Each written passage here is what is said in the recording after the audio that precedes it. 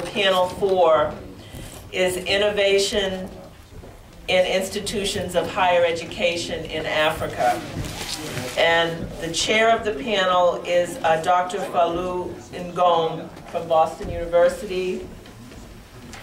And he is joined by Mr. Alex Zito, also from uh, Boston University. Dr. Linda Davis from Wheelock College, and Mr. Zachary Gersten from Boston University. And we're going to start uh, with remarks by uh, the chair, Dr. Fallou Ngom from Boston University. Uh, I'm very pleased.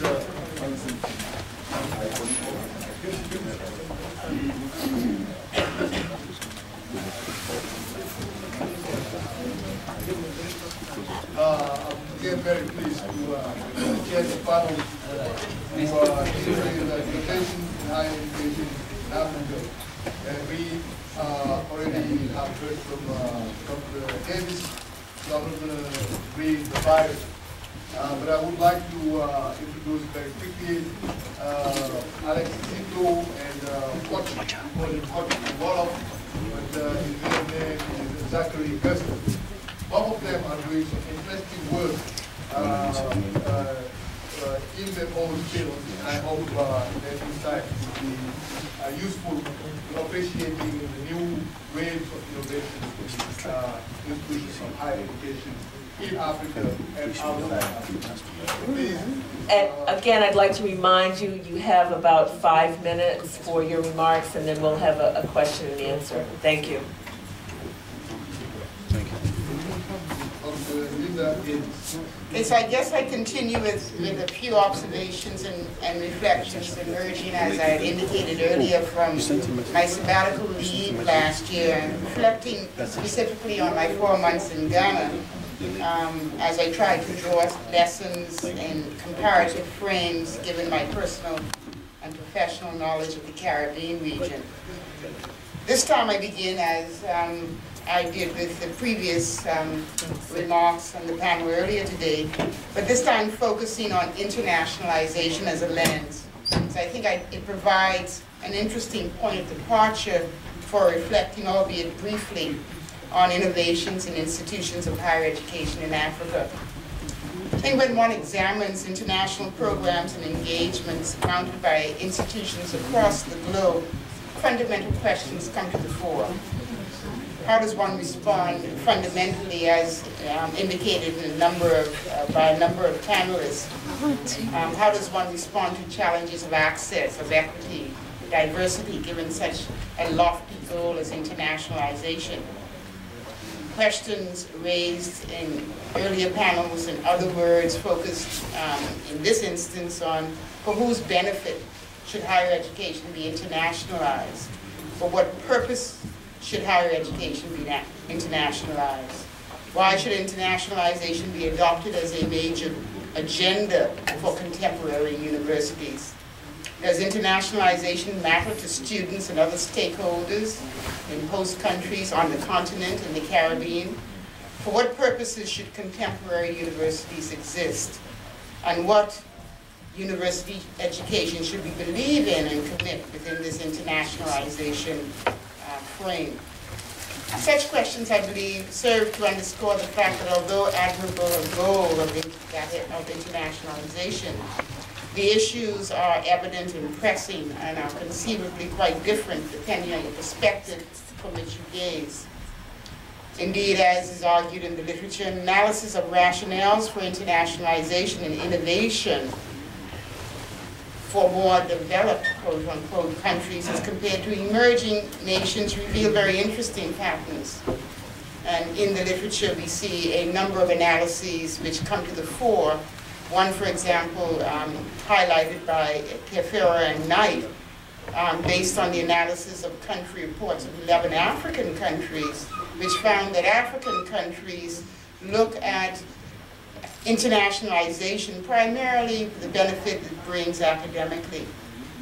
More specifically, these researchers argue that internationalization is being promoted in these institutions to build human resource capacity, to promote the improvement of academic quality. to strengthen research capacity and knowledge production. And one assumes that these African nations foreshadow challenges of other emerging nations, um, perhaps in a different um, way, in a different, different, differing, differing scales um, in the Caribbean region, for example.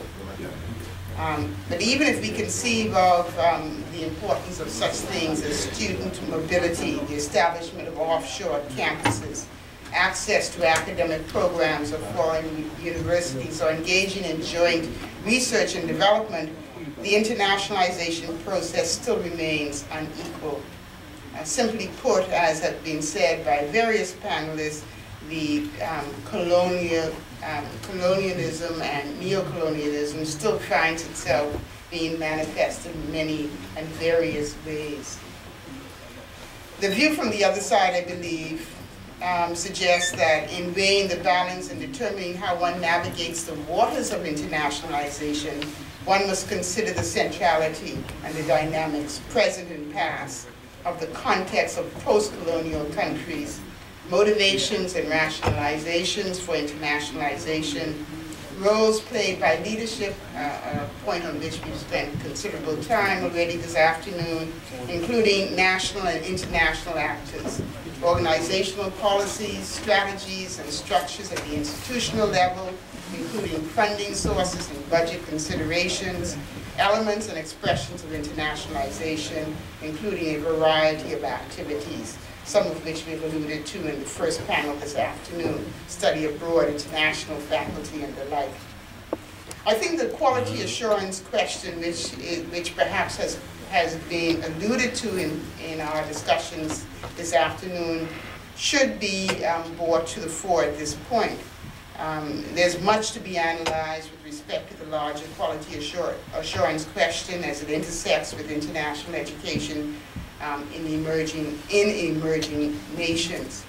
Uh, again, I, I um, cite Knight, provides an excellent beginning point in such an analysis by posing a few fundamental questions aimed at a consideration of the various evaluation frameworks used by such agencies and issues related to the equity of access and the quality of relevance of the education provided questions that she poses pushes the researcher to delve deeper into the vexing historical context that continue to frame the very essence of institutions in emerging nations.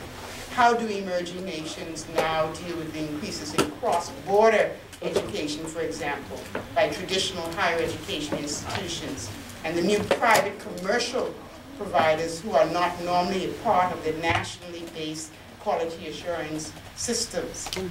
Is there sufficient attention paid to national policy objectives and cultural orientations, for example? What of the accreditation and the degree mills that are able to place themselves out of the reach of national regulatory systems using nothing more than a web address? We've spoken a bit about decolonizing methodology, Professor um, Kumara um, and the nature of the organization of higher education institutions, I think it's an important point. Um, and I, this lesson was brought home to me so clearly through the rare experience that was afforded me as I worked with colleagues to mount and submit an application through the National Accreditation Board in Ghana. Indeed, despite the innovations that my host institution was intent on advancing, there appeared to be little space for such engagements resulting in extended debates throughout my tenure there. The question is, where is and why and on what terms are innovations to be born um, within the context of the continent? And so I end as I begin, I suppose, and as um, comments have, have, have, have made reference, that indeed uh, there's pause, um, there's need for reflection, um, the themes that we highlight, um, the breaking of the vicious circle of dependency um, means finding solutions not necessarily from the outside, but from within. Thank you.